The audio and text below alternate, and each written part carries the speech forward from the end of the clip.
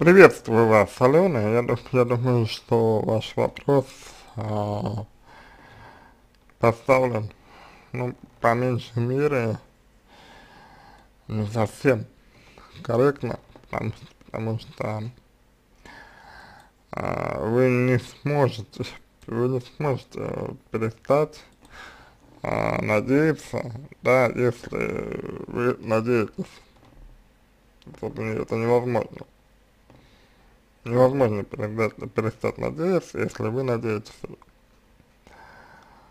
Поэтому идея в том, что если вы надеетесь, значит вы чего-то хотите. Идея в том, что если вы надеетесь, значит у вас есть желание. Идея в том, что это желание вам, ну, по большому счету, не позволяет быть свободной в этих, в этих отношениях с мужчиной, как вариант, как минимум потому что, ну, если вы чего-то от него хотите, да, то вы, ну, по большому счету, вы зависимы, зависимы от э, человека. Вот. И это э, про проблема. В первую очередь проблема для вас, потому что вы, как бы, приобретаете статус, статус такого, знаете, ну, более заинтересованного э, партнера, да, в отношениях, чем мужчин, мужчина.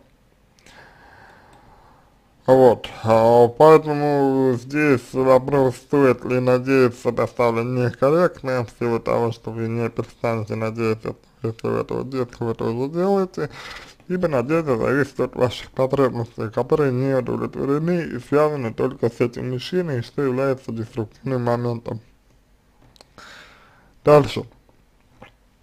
А, значит, э, что могу сказать по поводу ваших отношений в целом.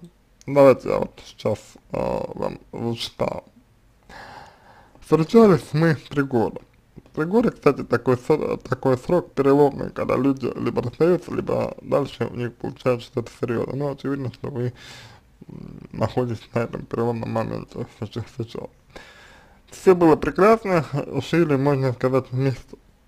Так, ну, то, что все было прекрасно, это хорошо, вопрос в том, да, э, прекрасно для кого? Для кого прекрасно? Для вас или для, или для мужчин? Вы можете говорить, по большому счету, только за себя. Вот, вы не можете говорить про мужчину никак. Вот. Дальше. Жили, можно сказать, вместе. Каждый день говорил, что любит, осыпал комплиментами, заботился, помогал тому подобное. В общем, замутная жизнь пас без штампа в паспорте. Конечно, ссорились и, и, и бурно ссорились.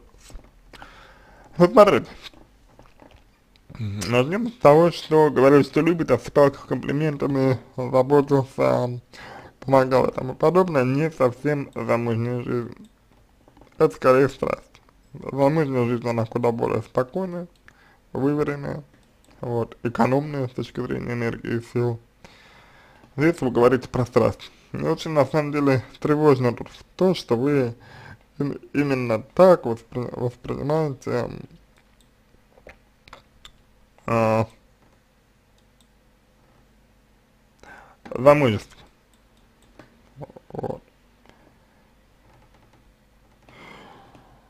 Понимаете? Какая штука. Вот. Ну, не совсем, не совсем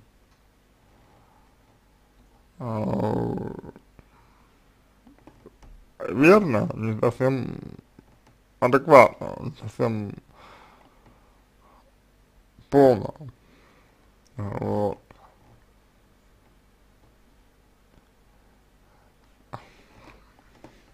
Понимаете, замужество, понимаете, замужество здесь,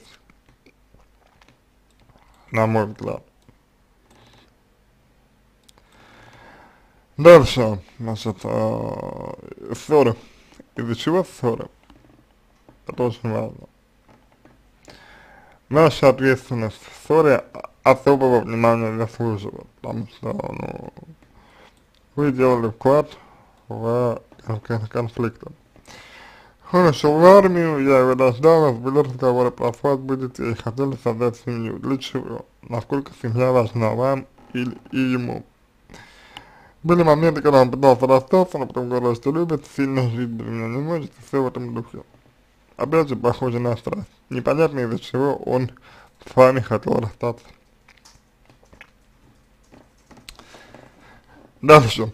А, значит, все же мы расстались, он бросил резко несколько дней назад. Говорит, что все прошло, больше не любит, ничего не чувствует, вообще ни гнева, ни злости, ни любви. Говорит, что устал, устал от отношений, и что не хочет быть вместе. Я спросил, это была любовь или влюбленность? Зачем вы спросили?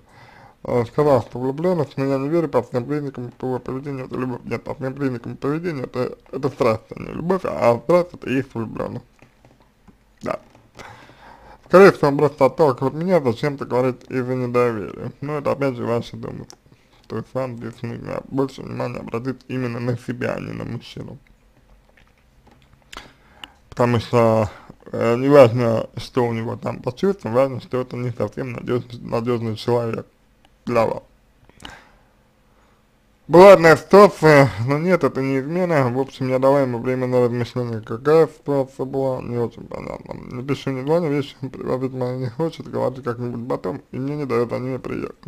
За что вы, я так понимаю, цепляетесь, подразумеваю, что это означает, что он хочет э, сохранить с вами мостик.